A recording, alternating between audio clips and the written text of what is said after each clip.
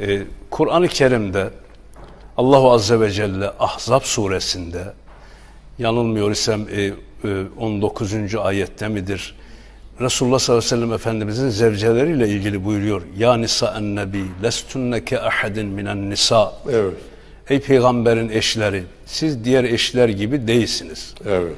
Eğer bir günah işleseniz iki kat ceza alacaksınız. Bir sevap işleseniz iki kat mükafat göreceksiniz. Birisi normal beşer olmaları hasebiyle, diğeri ise örnek, model teşkil etmeleri hasebiyle. Sevaplarında da günahlarında da böyle bir iki katlılık söz konusudur. Kur'an bunu açıkça peygamber eşlerine sarih bir şekilde söylemesine rağmen ki onlar yani üç özelliğe sahiptir. Hem sahabedir, hem ümmül müminindir, müminlerin annesidir. Efendime söyleyeyim, hem de e, e, daha doğrusu sahabedir, ümmül müminindir. E, bir de modeldir, modeldirler. daha çok o feyiz kaynağına yakın. yakındırlar. Resulullah'ı en yakından takip eden ve bundan dolayı model olan insanlardır.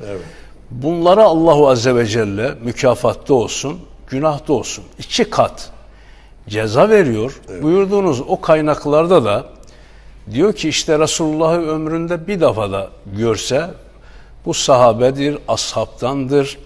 Hata yapmış olsa, günaha düşse, zulüm işlese, kafa kesse, ırza tecavüz etse dahi iştihad etmesinden dolayı iştihadında hata yapmış yine günahkar değildir. Yani bir, bir sevabı vardır.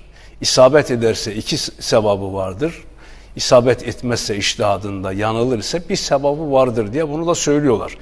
Ayet burada Resulullah'ın kendi eşlerine açıktan açığa böyle bir cez, cezanın veya mükafatın verileceğini söylemesine rağmen buyurduğunuz o işaret ettiğiniz kaynaklarda, kitaplarda getiriyor.